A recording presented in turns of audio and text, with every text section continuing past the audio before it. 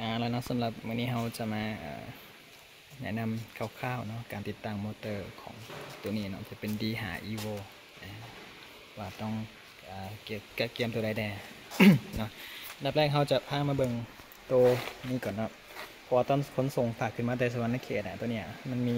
น้ำมันเกียร์มันซึมออกมาเนาะมันไหลออกมาเลยล่ะหลายเลยล่ะถ้าว่ามีน้ำมันเฟืองเกียร์เนาะก็เติมเข้าไปอ่า80มิลลิลิตร เนาะใส่ไปในนี้เพื่อให้เป็นตัวสวยหล่อลื่นบ่ให้เกียร์มันมีปัญหาในอนาคต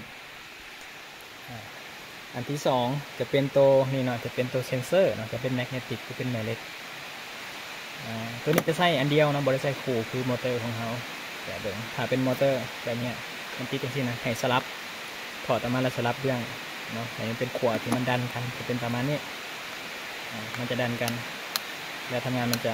ดีดประมาณนี้ คือสลับสลับแม่เหล็กบ่ให้มันติดกันมันดันกัน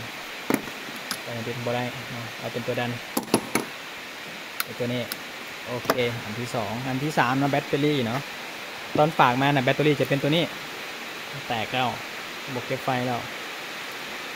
มีปัญหาครับเลยเอาแบตเตอรี่ของของการเอาใส่ ตัวนี้จะเป็น 12 โวลต์ 7 แอมป์ใส่เข้าไป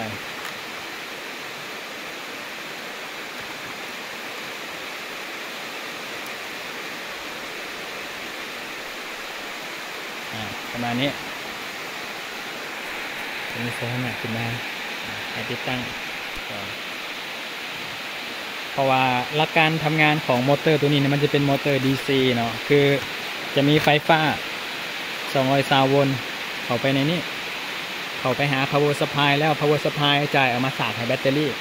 จากนั้นแบตเตอรี่จะเอาไฟมาเลี้ยงมอเตอร์ให้มอเตอร์ทำงานเนาะถ้าว่าใส่ไฟเฉพาะจาก power supply อย่างเดียวนะ ไฟมันกำลังไฟมันจะบ่พอที่จะมาให้ไถมอเตอร์อ่าดันประตูไปได้นะต้องได้ใส่แบตเตอรี่นำอันนี้สำคัญประมาณนี้จากนั้นก็ไปตั้งเดี๋ยวตัวนี้นะตัวนี้จะเป็นดีลีคีเนาะกระแจปลดล็อกแต่ว่า มันแขวเฟืองมันมีปัญหาละมันบ่สามารถที่จะใส่นำกันได้แขวเฟืองตัวนี้มันจะไอยังเขาเอิน เกียวมันจะเป็นเกียวใหญ่กว่า แต่วันนี้เกียวมันจะเริ่มหลุยแล้ว มันบ่สมาที่จะหันได้แล้วตัวนี้คือบสมาที่จะปลดล็อกมอเตอร์ได้ ถ้าอยากปลดล็อกมอเตอร์ได้ก็คือไปหาซื้ออ่านัดตัวนี้ใหม่เนาะให้มันใหญ่กว่านี้แล้วให้มันพอดีกับเกียวตัวนี้ได้สามารถใช้ปลดล็อกได้ปกติเนาะอันนี้สำหรับตัวปลดล็อก ต่อไปการติดตั้งตัวแมกเนติกตัวนี้เนาะติดตั้งแมกเนติกตัวนี้ ปกติมอเตอร์เขาจะมีอยู่สองสองตัวเนาะหัวท้าย หัวท้ายเพื่อเป็นการจือจุดลิมิตนะให้ให้มอเตอร์เบรกแต่ว่าตัวมอเตอร์ตัวนี้อะมันจะเป็นการเบรกโดยหาจอดเล็กยังกระตามเนาะมาขันขันไอตัวรางรางของประตูไว้ เวลาประตูมันไหลไปตามสุดไปตามกับเหล็กตัวนั้นแล้วปั๊บมันจะจือเลยว่าเนี่ยคือ limit รายการ ถอยกลับมาจนสุดแล้วไปตั้มกับเหล็กที่ที่จอดคัดไว้นะก็จะจือว่านั้นคือจุด limit เพราะฉะนั้นเวลามอเตอร์มันทำงานคือมันจะไปจือเอาจุดจุดที่มอเตอร์ประตูไปสุดแล้วนะนี่สิ่งกีดขวางตันแล้วจังจังเป็นจุด limit ของมันเนาะส่วนโต magnetic ตัวนี้จะสอยให้ประตูหู้ว่า จะสอยให้มอเตอร์หู้ว่าตอนนี้ประตูมันปิดหรือเปิดอยู่เนาะถ้าว่าไหลไปเป็นประตูเปิดไหลมาประตูปิดให้มอเตอร์หู้ว่าตอนเนี้ยประตูอยู่ในสถานะปิดหรือเปิด เนาะการติดตั้งตัวนี้แมนแมนจะติดตั้งห่างจากมอเตอร์เนาะอันนี้คือตัวห่างจากมอเตอร์ห้าสิบเซนเนาะห้าร้อยห้าร้อยอะมิลลิเมตรคือห้าสิบเซนเนาะให้ประตูปิดสนิทเลยยู่ประตูไปจนปิดสนิทปุ๊บแล้วติดตั้งตัวนี้ใส่ให้ห่างจากมอเตอร์มาประมาณห้าสิบเซนเนาะเวลาประตูเปิดกับตัวอ่า limit magnetic ก็จะไหลไปบอกกันตัวเนี้ประตูเปิดอยู่ แล้วตอนปิดกับประตูมดไอ้ magnetic ไหลมาให้หัวประตูปิดอยู่นี่คือการทำงานมันประมาณนี้เนาะโอเคสำหรับขั้นตอนการอ่าสิ่งแรกที่ควรจะเห็นเนาะหลังจากติดมอเตอร์ไว้แล้วปั๊บคือปรับจูนจุด limit เนาะกดปุ่มเมนูข้างไว้สองวิโอเคแล้วก่อนนะจะประมาณนี้นะมันจะบอกว่าโอเค นอกสุดเลยจะประมาณนี้เนาะกดปุ่มนี้ค้างไว้สองวิอ่าปึ๊บเข้ามาเนาะติดตั้งอ่า setting limit ติดตั้งจุดเบรกเนาะกดเข้าไปเลย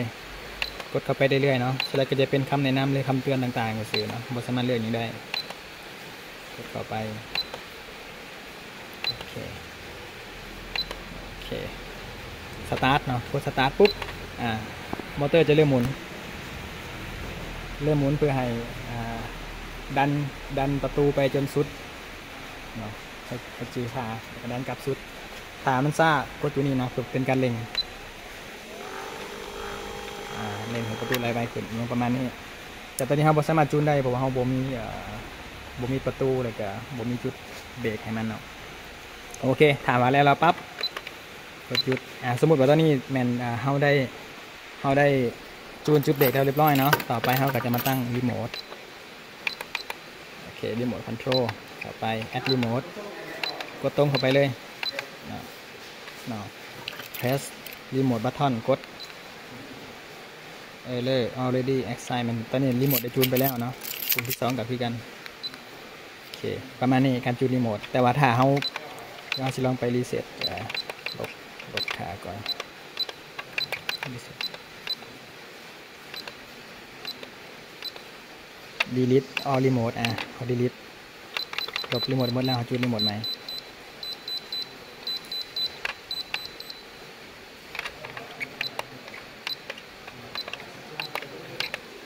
ตรงเข้าไป โอเค กดปุ่ม เอา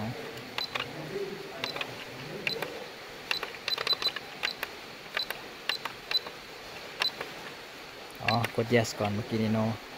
yes success remote memory clear เนาะเรียบร้อยอการจดจำรีโมททั้งหมดมันถือได้ล่างข้อมูลไปแล้วรีโมทคอนโทรลกดแอดใหม่กดอ่ารีโมทหนึ่ง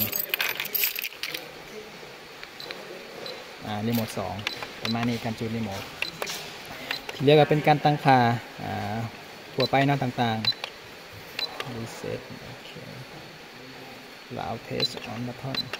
มอเตอร์ตัวนี้ฟังก์ชันค่อนข้างที่จะหลายเนาะสามารถปรับความไวมอเตอร์ได้ความไวของการเลื่อนตั้งแต่ 18 หา24วิต่อแมตต์เฮ้ยอ่า18 หา24อ่าแมตต์ต่อนาทีสามารถปรับได้ปกติมอเตอร์เฮามัน12 หา14แมตต์ต่อนาที ประมาณนี้เนาะแต่ว่ามอเตอร์ตัวนี้มันจะขับน้ำหนักได้ 500กิโลเนาะประมาณนี้ก็ลองเอาไปศึกษาแล้วก็ลองทดลองติดตั้งเบิ่งเนาะ